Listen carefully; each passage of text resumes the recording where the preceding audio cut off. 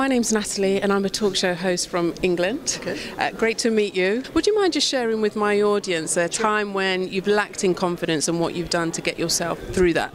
Yeah, I've never had that. I've always, my life has always been perfect. Roses. it's always been a bed of roses and Disney music playing in the background.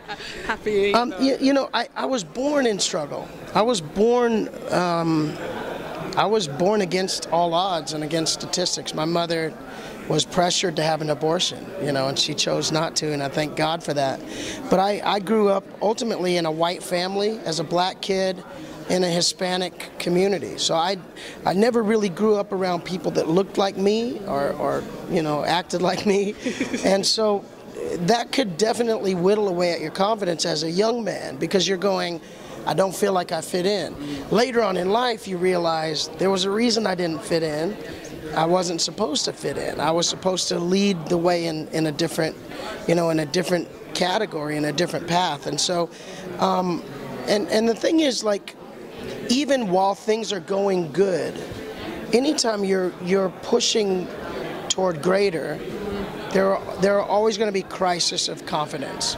You know, like, am I doing the right thing? E- even, you know, this project that we did in, in Asia, you know, we're, we're heading over there going, will these songs work? They work here, kind of, but will they work with people that have never heard them, with people that maybe maybe not understand all that we're saying will these songs work and so you have these different challenges to your confidence but ultimately my confidence is not in myself ultimately my confidence is in the god who made me.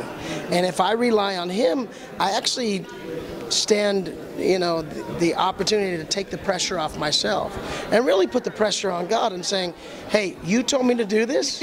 You know you graced me for this. It's on you. And and that's not a cop out. I, i'm a hard worker and and i i don't make a lot of excuses for for what i do. And so ultimately though it's it's on god to to, to finish the work that he started in my life. Mm-hmm. And when are you coming back to the UK?